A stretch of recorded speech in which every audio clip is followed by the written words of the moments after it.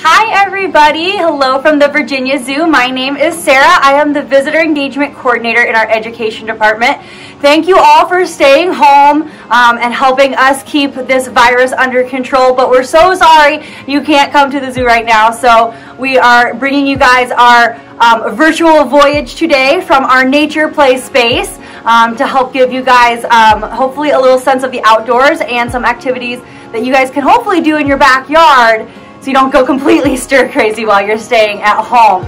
Um, we have two activities that I think you guys can try. Yesterday we posted um, the supplies, so hopefully you have those ready. Um, we are going to try some dandelion stem bubble blowers um, and some nature painting. So I'm going to try the bubble blowers first. I did test this beforehand because I didn't want to get embarrassed, but hopefully it works now that we are filming. Um, so for anyone unfamiliar, I'm sure you all know this is what a dandelion looks like. They're probably invading your yard right about now. We do consider them a weed, but they are really important. They are some of the first food that um, blooms for the bees in our area. And we all know that bees are super important pollinators. Um, there are honeybees, of course, that people raise so that we can have honey, but there are lots of different local bees that uh, pollinate all of our local plants. So if you can help yourself, try really hard not to destroy these guys right away. Give the bees a chance to get some snacks first. Um, once they turn all white and puffy and they're really fun to blow off into the wind, um, you guys can go ahead and play with them. We picked this one just to show you, but try and leave them in your yard.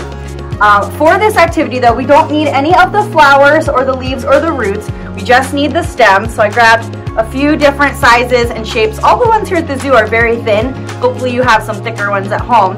Um, but basically what you're going to do to make your bubble blowers um, is rinse these off. They did come from the ground, so rinse them off uh, in the sink first.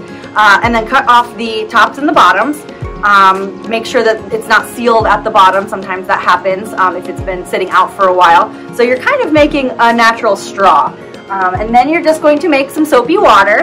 Um, I'm sure we all have soap at home right now, right? Um, so just dish soap is fine. If you have uh, like actual bubble solution that you might play with in the summer, um, you can use that, but dish soap seems to work just fine. Mix kind of a lot of dish soap. I didn't measure it out, that's too hard. Uh, with some water, slosh it up, get it all bubbly and sudsy.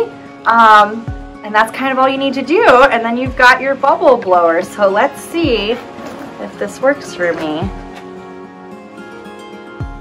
Yeah, it sure did. Okay, I'm gonna try a different one. Let's see if this bigger one works. I don't know if this is gonna make it worse or better. This one I have not tried yet. Thought the same, but that's really fun. Um, so yeah, this is a really cute, super easy activity that you guys can do to get outdoors. So fun. Um, picking some flowers. Um, again, we don't want to pick all of them. Leave some for the bees. Um, but get you out in your yard a little bit. Um, and that was really cute. I wasn't expecting that to work quite so well with the long ones. That's really fun. Um, my next activity um, is a little more prep work. Hopefully you have some of these supplies at home. Um, this one is nature painting, and there's all kinds of nature painting that you can do. We actually have a program here at the zoo called Running Wild. Um, it is our family nature play program, and we've done a couple different kinds of nature painting. Um, the best one is a little hard to do at this time of year because there aren't a lot of fruits and flowers right now, um, but we actually use the fruits and flowers as the paint. We smushed it up and rubbed it on the paper. That was really fun. So if you have some berries in your house that are starting to go bad, you can smush those up and paint with those instead. But for this nature painting, we are going to use actual paint. Um, you're going to get a tray. I have a little science experiment tray, but you guys can use a cookie sheet um, or any kind of tray that has just a little bit of a lip, um, or even those aluminum uh, baking trays that have a bit of a higher edge. Uh, and then you're just gonna go into your yard or into a park near your house and find nature things. So we've got pine cones, rocks, um, these sweet gum seeds, I think they are, um, some sticks, and uh, we're going to make some, some kind of crazy art with it. So you're going to basically just take your paint and put some random globs on there. Picked purple and green, those are some of my favorite colors. And then you're going to Put your nature items on there. You can also just put the paint straight onto the nature item if you want to. See, that'll work. And then the fun part, you're just gonna roll it around. and try really hard not to get paint all over yourself, but if you do, that's part of the fun, I think, too. all right. So all of my paint seemed to focus in on the bottom. I might do a little bit of manual work here. Go. And then we have some nature art. You can do that with as many colors as you want. Oh, look, and we have a bug friend. Sorry, friend. We have a little bug who almost got painted on. I'll move him in just a minute. Um, but you can use as many colors as you want. I would use washable paint. Um, again, you can use natural items for paint. You can smush up flowers, you can smush up um, berries and things like that. There are lots of recipes online too for making natural dyes.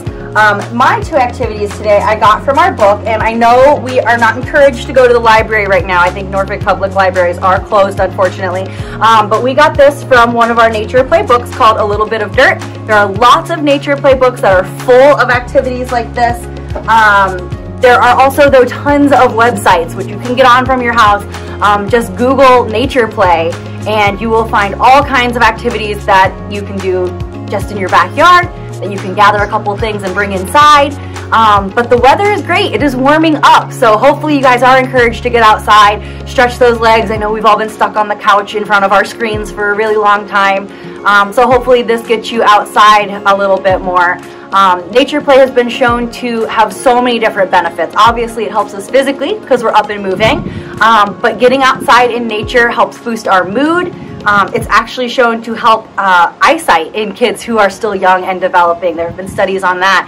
Um, and it's just really fun. So I definitely encourage you guys to get outside um, and try some different activities and when we are open, um, please come back to the zoo, walk around. It is beautiful here. Hopefully lots of things will be blooming by the time we are open again. We've got our amazing nature play space, which again, I'm hanging out in today. Um, we've got a bamboo forest for you to explore. We've got stumps for you to jump on and balance beams. Um, and when we are open back up again, and we know we'll be open up consistently, we do have that nature play program I told you about called Running Wild. It's on every other Sunday and Wednesday. Check the website for specific dates. Uh, we have a different theme each month. Hopefully we open back up in April. Our theme is plants and trees, so we'll have a lot of really cool stuff there. Um, and then in May, our theme is going to be birds. So that'll be a really fun one. But in the past, like I said, we've done art. Um, we've done things about how animals stay warm for our program in December when it was a little chilly. Um, and every month has a different theme. So make sure you come and check those out. They are included with admission um, or your membership. So it is not an extra fee. You can just come and play out in nature with us and then go explore the zoo and see the rest of the animals. Um, if you guys have any questions, drop them in the comments. We would be happy to answer them, point you in the direction of some more nature play resources. But it's as simple as just going outside and not being afraid to get a little dirty, whether that's paint or actual dirt. We all have lots of soap and hand sanitizer now, so we can wash it all off when we're done. Um, but it's good to get a little dirty, um, connect back with nature, especially when we're all stuck in the house and a little stressed out. So um, thank you guys so much.